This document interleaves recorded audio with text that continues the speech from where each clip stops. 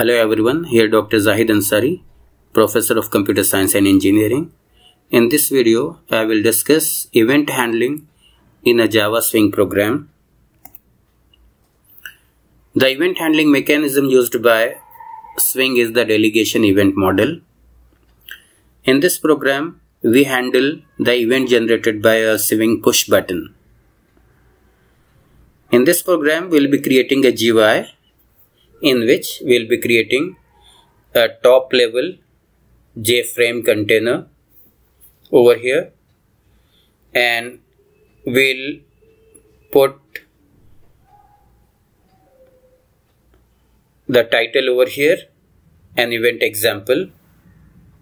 In this container we'll be adding three swing controls two push buttons alpha and beta and one label the label will initialize to with press a button.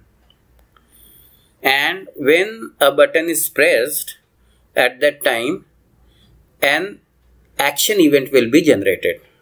So in this program, we'll be handling that event by providing an implementation of the action listener and we'll be implementing a method action performed and in that we'll be taking the proper action corresponding to each button over here. For the case of the button alpha, we'll take the action that will display in the label alpha was pressed.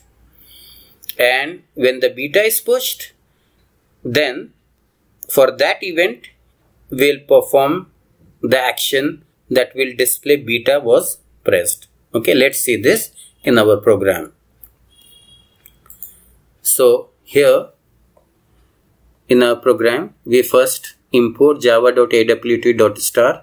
This we need because we need to set the layout of the container, how the controls will go. We want to use the flow layout for this. So we are importing this.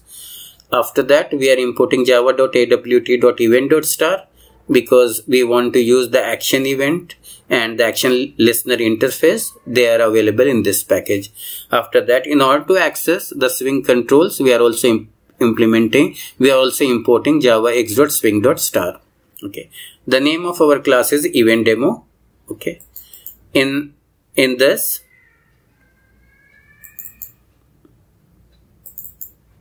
okay we define a reference to the label which we want to uh, display over there that is JLab okay? In the constructor we are constructor of our class. We are first creating our top level container JFrame. So we are instantiating new JFrame and we are giving a title to it an event example over here as a parameter. So we created a JFrame object reference ob object over here okay then in order to set the layout, we are setting the layout to flow layout.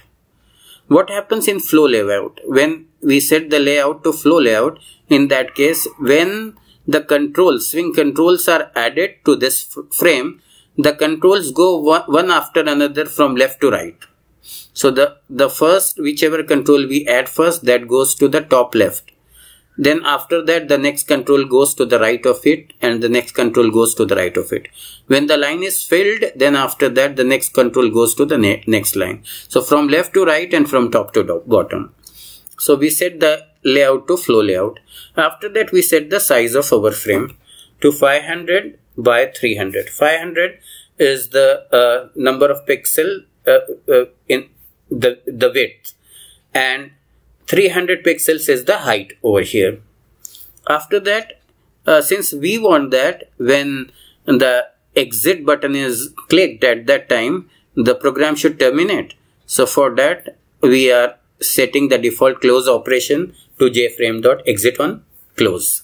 Okay. So once we created the frame, after that we are creating the buttons over here. So we are instantiating the J button objects, right? The first so J button alpha, we are giving the name alpha to it. J button beta, we are giving the name beta to it. So two buttons, uh, uh, two push buttons we have created over here. Okay. So once the buttons are created, after that, we want to specify or what action to be performed if uh, these buttons are pressed. So the J button it provides a method add action listener. We are using this method add action listener to provide uh, Uh, the action, listener over here. So we are creating our own action listener. In that we are specifying, we, we are implementing the method action perform. So for the button alpha, the action we want is that the label should be set with the message alpha was pressed. So we are doing the same. We are calling a method set text alpha was pressed so that it will set the text alpha was pressed on the label. Similarly, for the button beta, uh, we are adding, we are calling the method add action listener. Here we are providing the action listener.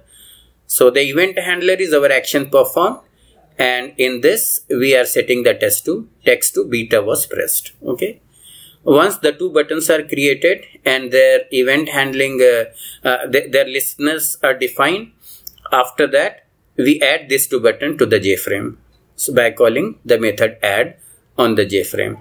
So we first add the button alpha then we add the button beta. Since we are using the flow layout so the button alpha will be on the left side and button beta will be on the right side.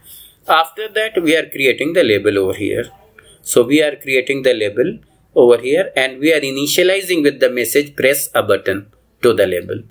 Then we are adding the label also to the jframe. So the third control in the jframe is the label okay. So once we added the two push buttons and the labels after that we are setting the frame to be visible by calling the method set visible equal to true. Then the frame will be visible. Okay. Now uh, we are we have to instantiate our class event demo in the main right? But we want to create the frame on the event dispatching thread and not on the main thread right? Uh, swing doesn't allow us to create it on the main thread right? So we create it on the event dispatching thread. For that we are calling invoke later method of the swing utilities class. And in this we are providing an instance of runnable over here. And we are impl implementing the method run of it. In this method we are instantiating our event demo class. So once we do it it will call the constructor and the GUI will be created. So let's run it. So we are running it. Okay. So it created our GUI okay. So now here see we have the container jframe over here.